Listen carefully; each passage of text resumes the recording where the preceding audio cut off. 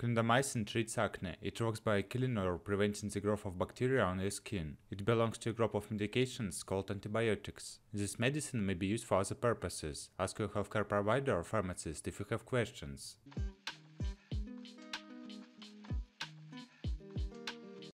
How to use. Apply thin layer of clindamycin to the face once daily, in the evening or as directed by the physician.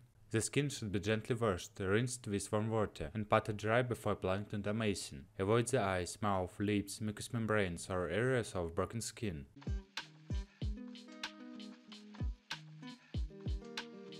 Contraindications. Clindamycin gel is contraindicated in individuals with a history of hypersensitivity to preparations containing clindamycin or lincomycin, a history of regional enteritis or ulcerative colitis, or a history of antibiotic-associated colitis.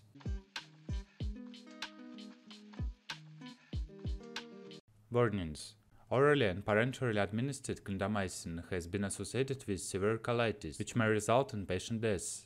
Use of the topical formulation of clindamycin results in absorption of the antibiotic from the skin surface. Diarrhea, bloody diarrhea, and colitis, including pseudomembranous colitis, have been reported with the use of topical and systemic clindamycin. When significant diarrhea occurs, the drug should be discontinued. Large bowel endoscopy should be considered to establish a definitive diagnosis in cases of severe diarrhea. Antiperistaltic agents such as opiates and diphenoxylate with atropine may prolong and or worsen the condition.